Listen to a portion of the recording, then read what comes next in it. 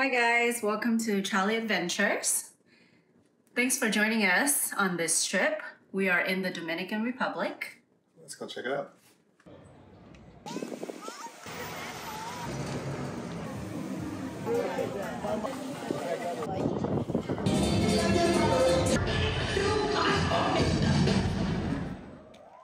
Hey everyone, welcome to the channel. In this video, we will be sharing our recent experience at an all-inclusive resort in Punta Cana, Dominican Republic. We'll talk about the resort, the beach, the pool, show you some of the restaurants we've been to, excursions, and much more. We've included chapter links in the video description below, so feel free to skip ahead if there's a particular topic you're interested in. Let's get started. We booked our all inclusive vacation package through Costco Travel. There were a few choices for Punta Cana, and we decided to go with Barcelo Bavaro Palace. Their website makes it easy to book. You can review lots of information about each resort. After selecting the property, it brings you to choosing your room, followed by your round trip flights. One thing that's nice about booking through Costco Travel is that the airport transfer to the hotel is almost always mm-hmm. included in the package. If not, it usually doesn't cost much more, and you can skip the hassle of trying to find a taxi or car service to your hotel. Don't forget to check for any immigration requirements or restrictions for the country you are traveling to.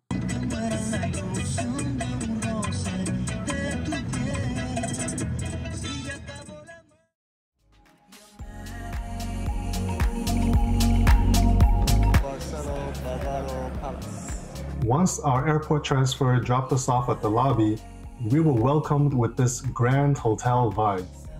This resort property is huge.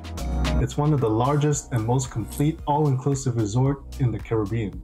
The property is so big, you'll get tired just walking around. Good thing they have free shuttles that circle the property with multiple stops. We had a joyride in a shuttle just to get a tour of the place and we were amazed by all the facilities of this complex. They had a sister resort right next door called Barcelo Bavaro Beach, which is adults only.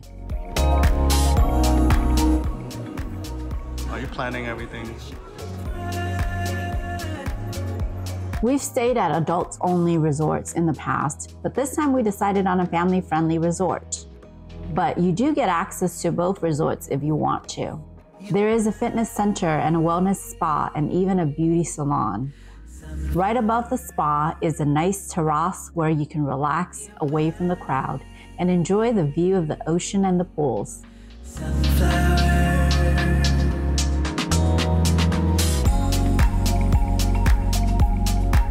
All right, we're heading to our room now. Hola, welcome to Punta Cana.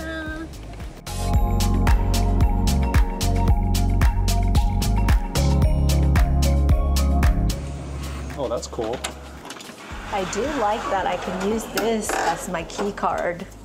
We got a junior suite with partial ocean view. The room is pretty decent size. The bed is comfortable and there's plenty of furniture and storage space for all of your belongings. We are at an all-inclusive resort and here on our patio, there's a jacuzzi and a privacy screen and our view. Since this is an all-inclusive resort, you get snacks, coffee, and drinks in your room that is part of the package. It gets refilled every day during housekeeping. Presidente, el sabor original de la cerveza dominicana.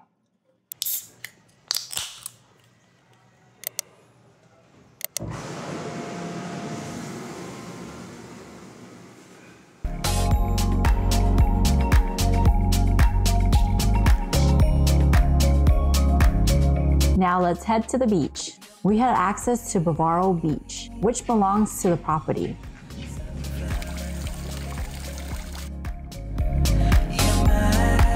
The beach spans quite a big area with plenty of lounge chairs.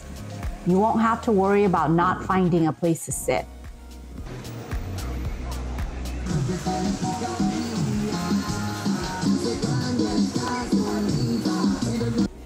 They also had beach volleyball and some games. During the booking, we got a high sargassum advisory. Our resort did a great job cleaning up and keeping the beach mostly sargassum free. There's a little bit of seaweed, but nothing out of the ordinary.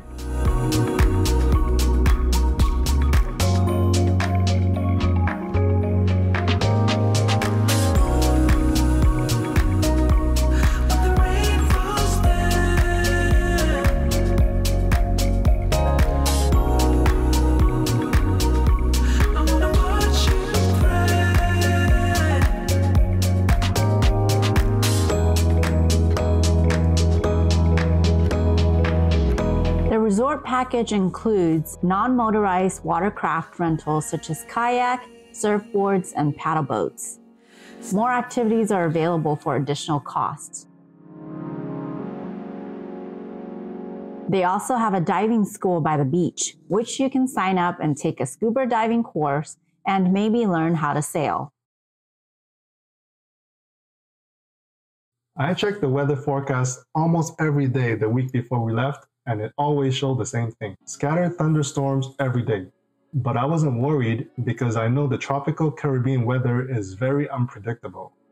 It rained the moment we landed in Punta Cana, and it continued raining on the way from the airport to the resort. But once we checked in, it was very sunny and beautiful. The weather has a similar pattern every day that we were there. Mostly sunny, hot and humid, maybe a heavy rain and thunderstorm in the afternoon, and then it was nice again.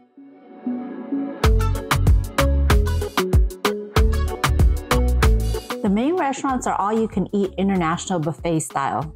They're open for a few hours during breakfast, lunch, and dinner.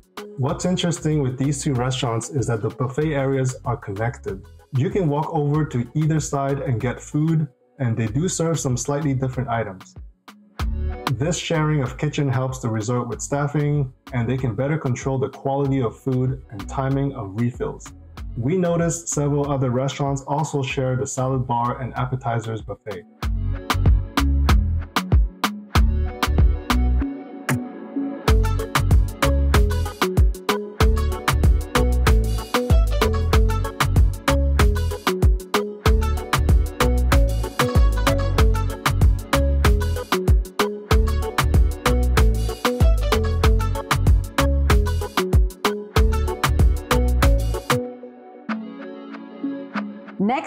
Have a la carte restaurants.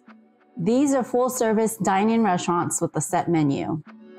They require reservations, which can be done in person or by calling the concierge desk. We recommend deciding early on which restaurant you would like to eat at and which night. Tables get booked up really fast.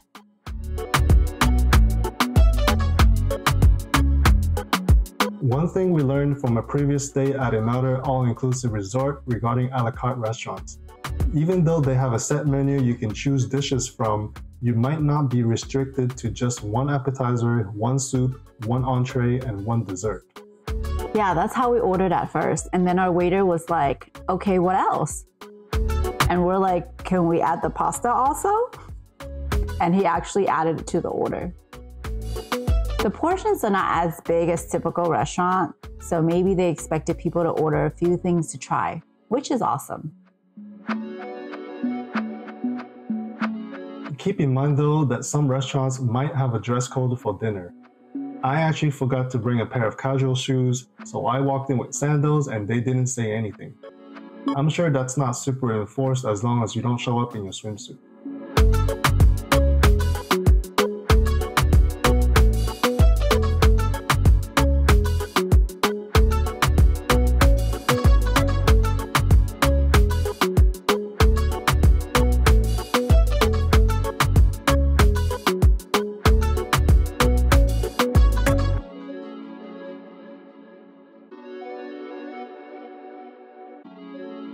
If you want something to eat between breakfast, lunch, and dinner, or if you want to try other things, you can head to other eateries and bars around the property.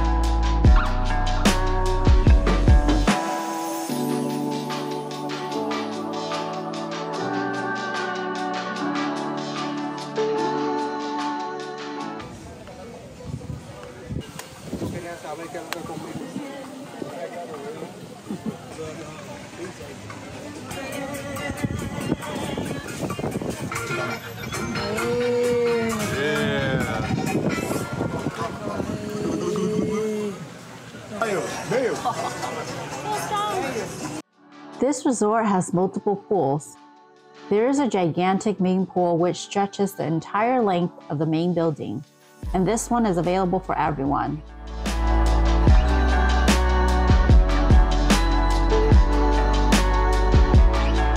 If they have a group activity or scheduled entertainment, it happens on a part of this pool.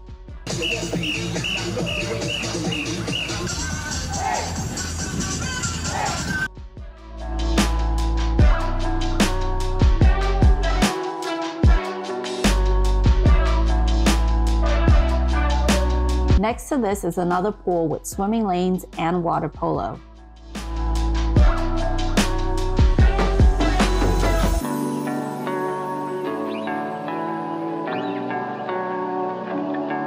My favorite part about this main pool is the swim up bar. I mean, what's better than soaking up the sun and cooling off in the water while enjoying unlimited drinks? There is another pool that's adults only. It's one of the smaller pools, but there's plenty of space. There are some water fountains on the side and this cool jacuzzi in the middle. Ah, it's a jacuzzi. Yeah. Oh, okay, let's go. This pool is more quiet since kids aren't allowed in here, but I imagine it could get pretty rowdy if more adults showed up with drinks in their hand.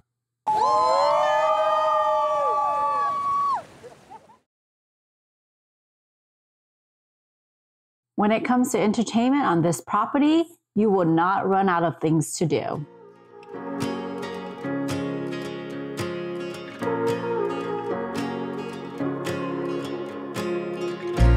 Main property has a bowling center, a pool hall, a casino, and a club.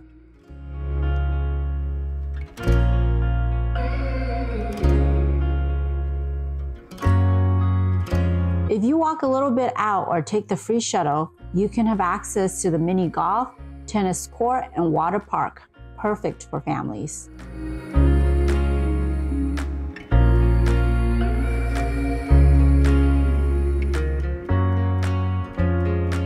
There's this huge theater in the main building by the lobby. In the evening time, there's always some kind of show on the schedule. On this evening, they had a Michael Jackson pre-show where they invited guests to come up on stage and compete for the best MJ impression. It was quite funny and embarrassing. Some of them were actually pretty talented.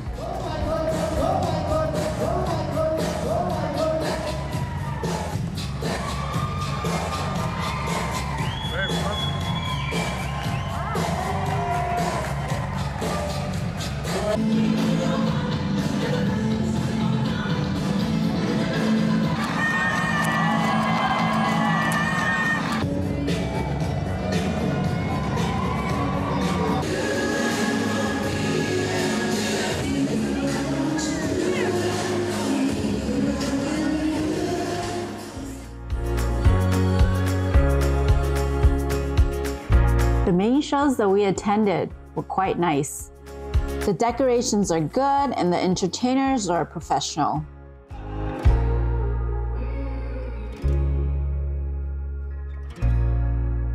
We had a good time just sitting back, relaxing with a drink, and just winding down after dinner.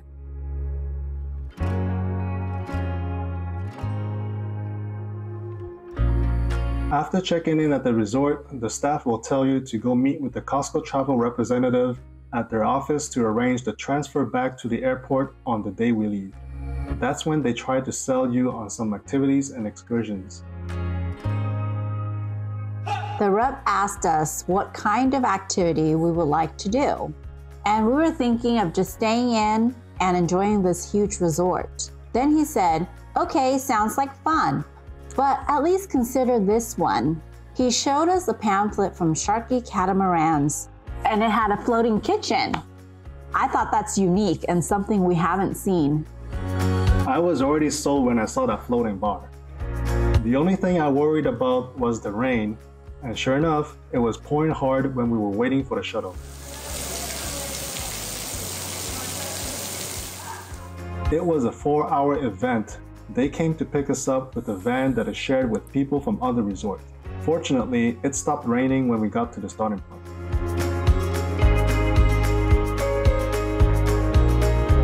We checked in and we were told to wait another 10 minutes or so because there was another van on the way to drop off more people for our boat.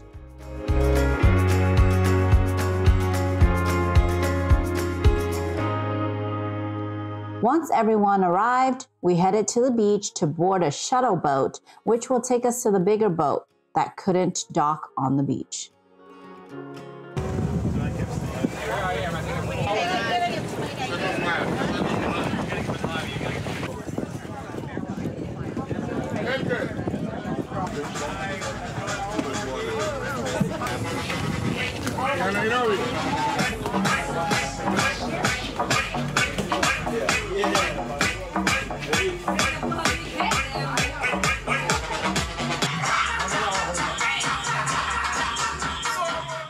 As soon as everyone was on board, the crew introduced themselves and gave us a quick safety briefing, and we were on our way.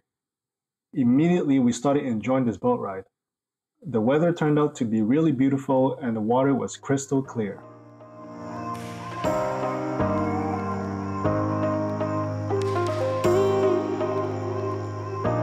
The first activity was snorkeling.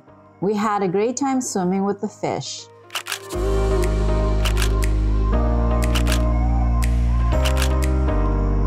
After that, the coconut guy came on board and served us fresh coconut juice. Then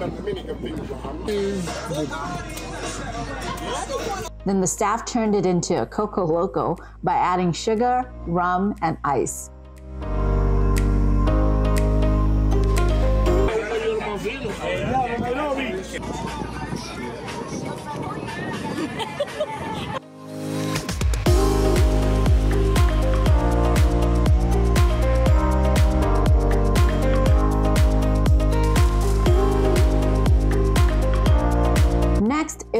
For lunch. We drove by the floating kitchen.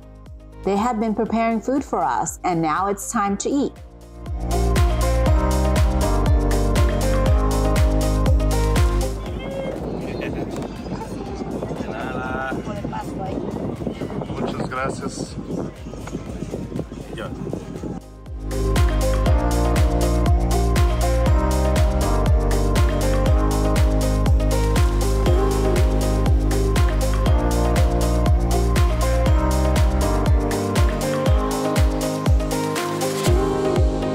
To my favorite part, swimming in a natural pool with the floating bar.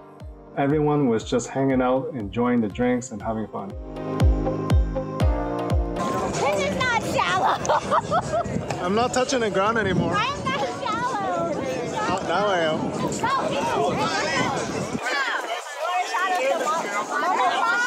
Mama Juana, let's go. We had so much fun on this trip and met some amazing people. We learned a lot from others sharing their stories and adventures with us. We're so glad we went on this excursion. No regrets at all.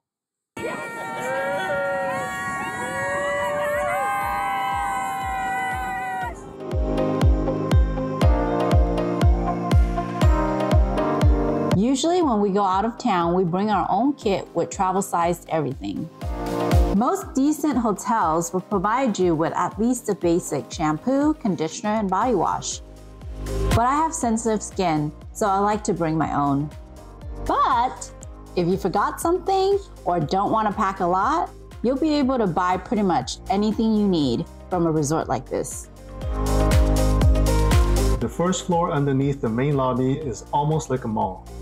It is lined up with shops from the convenience store with all your necessities, liquor and cigars, branded clothing, luggage, novelty items, and of course, gifts and souvenirs.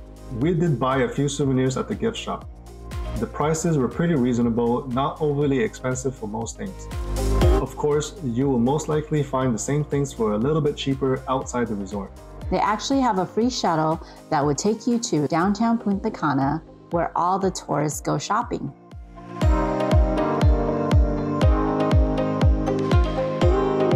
Can haggle and get things for cheaper, you do run the risk of getting gypped, so be careful of that.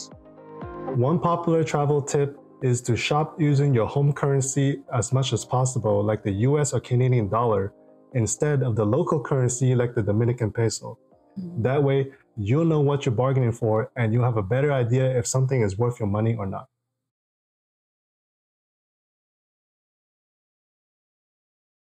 Well, this was our trip in the Dominican Republic. We had an amazing time and we look forward to the next resort experience. So, what do you guys think? Do you have any recommendations for tropical destinations or all inclusive resorts? If so, please let us know down in the comment section below. As always, thank you for watching and uh, we hope you enjoyed this video. If you'd like to see more of our content, please hit the subscribe button and we'll see you in the next one.